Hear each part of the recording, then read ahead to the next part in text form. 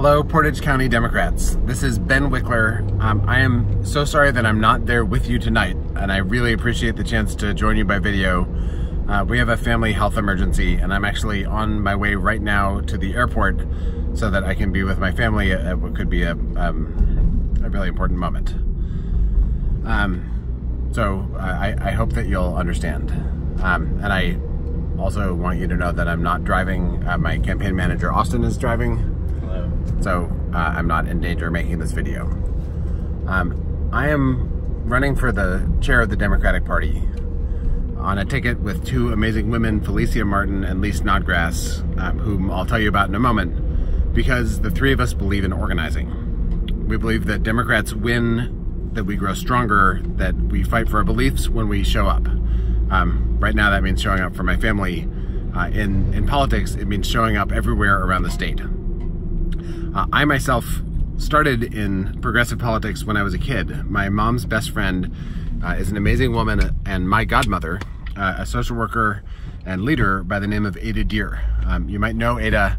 Um, you'll know that she ran for Congress when I was 11 years old. And the first campaign I volunteered on was hers. I stuffed envelopes, uh, put up yard signs, and then cheered her on. She used to lead the Menominee Nation. Um, when she won her primary, her victory speech was me nominee.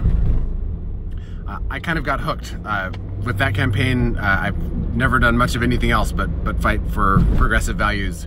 And for the last four and a half years, I've been on the national leadership team of MoveOn.org, uh, the grassroots progressive group. And at MoveOn, I led uh, the national campaign against the repeal of the Affordable Care Act and the gutting of Medicaid, a fight that we weren't supposed to win and would have lost if it wasn't for millions of people who stood and fought.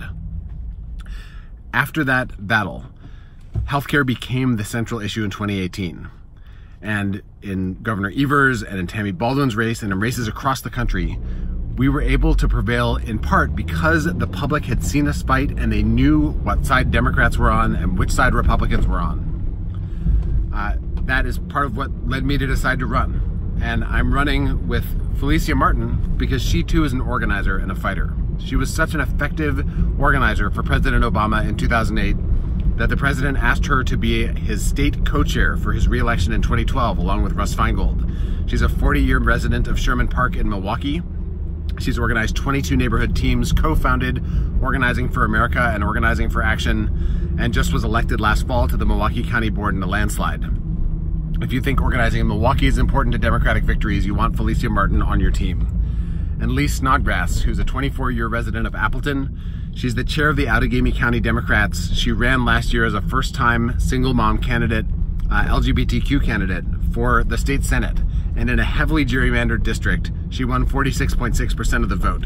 She's a great fighter. She does communications work for the Girl Scouts, so she knows about female empowerment, and I'm proud to have her on our ticket running for second vice chair.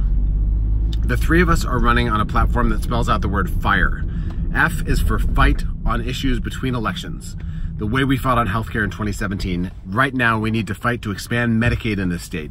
We need to fight for public education funds, for clean water, things that almost everyone in Wisconsin agrees on, but Republicans want to rip out of the budget. So F is for fight. I, R is for include and respect. Include and respect people from every community around the state. That means rural Wisconsin, suburban Wisconsin, cities, communities of color. Everyone needs to be heard, and we need to invest in supporting the talent pipeline in every part of Wisconsin. And E is for empower, empowering grassroots activists and county parties with better technology, with better data, and with training about how to use them. I am tired of calling people who died five years ago. I think we can clean up our data, we can use text messages, we can use social media more effectively. And I know that we can do all these things fight, include, respect, and empower because I've been part of doing them at MoveOn.org. At MoveOn, I've helped to raise millions of dollars from small donors and from large donors to invest in grassroots activism. I've helped to push the cutting edge of how people organize, and I want to bring that technology, I want to bring that fundraising to the state party here in Wisconsin because the stakes could not possibly be higher.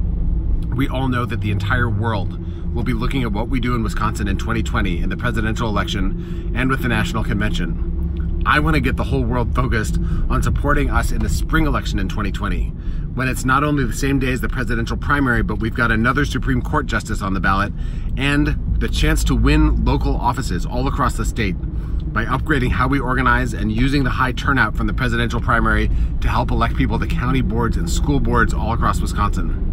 And all the work we do in 2020 has to be done with 2022 in mind. Because once we've got fair maps, we have a fighting chance to take back the state legislature, the state senate, the state assembly.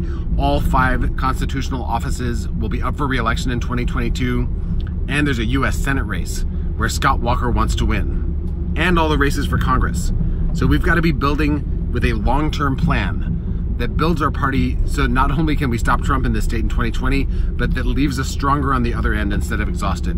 That's the kind of plan, that's the kind of battle that I want to join you in building. And I'd be so grateful if you'd support me and Felicia and Lee at the state convention this June 1st to 2nd in Milwaukee. And then if we win, or regardless of whether we win, let's join together in partnership to fight for Wisconsin that everyone can be proud of. Uh, I uh, live in Madison in the house where I grew up. I have three children, one, four, and seven, and I want them to know Wisconsin as a blue state, not as this mess that Scott Walker and his ilk have created. So I'd like to work with you. I appreciate your hearing me out on video, and I look forward to seeing you in person at the state convention in Milwaukee. Thanks so much.